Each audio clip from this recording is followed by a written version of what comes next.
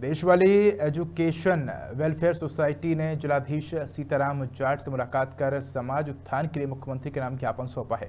Society के हाफिज अशरफ ने जानकारी देते हुए बताया कि राजस्थान के सबसे बड़े जिला डीडवाना कुचामन में देशवाली समाज की सबसे ज़्यादा आबादी निवास करती है।